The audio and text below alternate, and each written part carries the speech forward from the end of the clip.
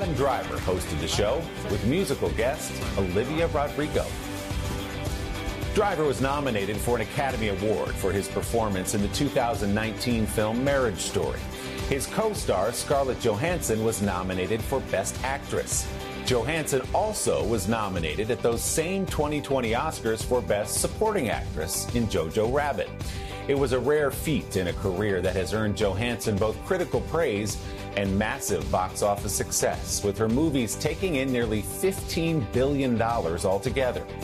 Now, the 39 year old, who is married to SNL star Colin Jost, is generating awards talk for her lead role in this year's Wes Anderson film, Asteroid City. Scarlett and I got together a few months back for a Sunday sit down at the New York offices of her skincare company called The Outset.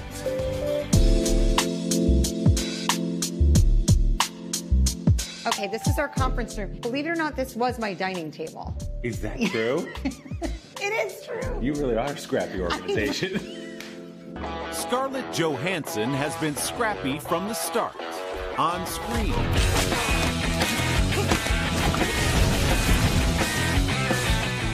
And now in business, with the launch of her skincare line, The Outset.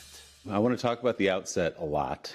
I'm here for the eye cream, Great. the Colin Jost eye cream, the as I understand it. That's how it's commonly known as, yeah. But let's start, if we can, with Asteroid City. Sure. which is an amazing Wes Anderson film. Beautiful to look at, as all of his stuff is.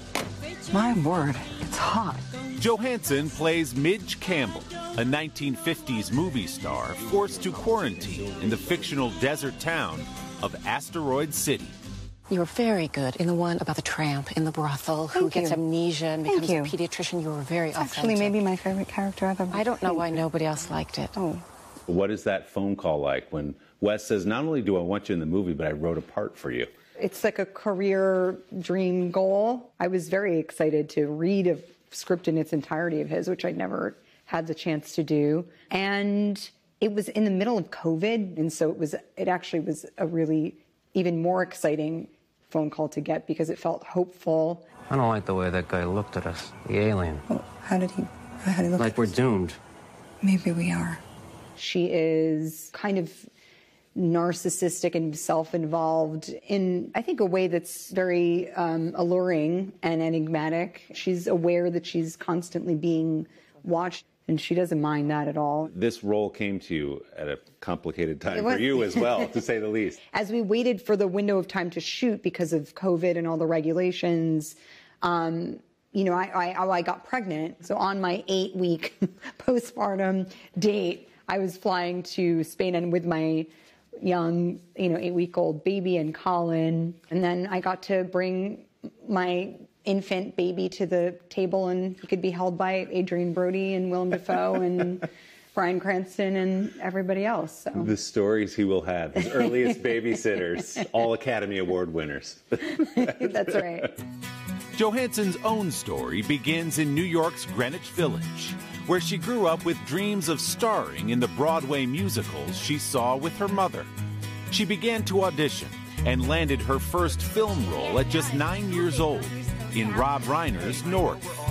After working steadily as a child actress, Johansson was thrust into adult stardom by her performance alongside Bill Murray in the acclaimed 2003 movie Lost in Translation.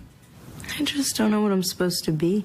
I forgot how young you were when you made that. I mean, 17, you're just, you're a high school kid. Was that a hard thing to have that many eyes on you and to be treated now as an adult effectively after that movie? I mean, I think just being that age is hard anyway. I felt like I was at a crossroads at that time because I, you know, Lost in Translation had come out and Girl with a Pearl Earring, and I did some very exciting work, but then I felt like the work that was out there, for me anyway, was not, it just it was sort of uninspired. She found the fire again on Broadway, starring and winning a Tony Award in the 2010 revival of A View from the Bridge. Which sort of brings it full circle. Not only to come to Broadway and do Arthur Miller, but to win a Tony Award. That must have been thrilling. It was thrilling. Our production was so incredibly received and feel totally welcomed by this community I admired for my entire life, and uh, it just it's so exciting and makes you feel like alive. And then it's the same year as the play that Black Widow and Iron Man 2 come along, right? Right. What did the Marvel movies do to your career and your life? I didn't know whether I would be accepted by the, you know, by the this massive fan base that was already there. It was so early days in that genre. I mean, we were on the set of Avengers going, this could be Right. really awful. I mean, it's so crazy. You have, I remember going, there's a Nordic god, we have a mutant, this rich playboy turned robot guy. I'm a Russian spy, somebody that's been frozen in ice and comes out. It was like, I don't know. This is so goofy. But then here we are. So this is home. Yeah, that's a home away from home. When Johansson is not on set, she's here in the offices of The Outset, the skincare company she co founded last year. This is our like best selling Okay. sort of trio. It's our cleanser, our prep serum, and our daily moisturizer. I'm just realizing I don't do enough. I have no night creams. I don't have. But you're on camera all the time. I time. know. I know. I need to get more serious about my career. Well, I know. So, what compelled you to take on this challenge? Since I was probably 12, 13 years old, have struggled with acne. And when I was younger, it was all about sort of stripping away your skin and basically resurface your entire face. And at some point, I thought, you know, it was like, I have to kind of just stop everything and just try something else, which was just using very clean, moisturizing products. So, is it true that um, Colin is a big proponent of the eye cream? Yes. That's his thing? Colin was our eye cream connoisseur. I never used eye cream before. Colin uses it every day. And so I thought, well, why don't, since, you know, it was during COVID and I didn't have so many people to test it on, Colin became our, our eye cream expert. Never looked better. so youthful. He is, he's like de-aging. It's very annoying. You're doing it all. And with a toddler at home, I mean, it's all very impressive. I mean, you know, I'm sure I left like the oven on or whatever.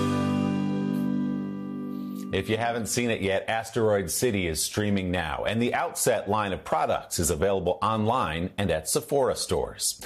Our big thanks again to Scarlett and her team at the Outset for hosting our conversation.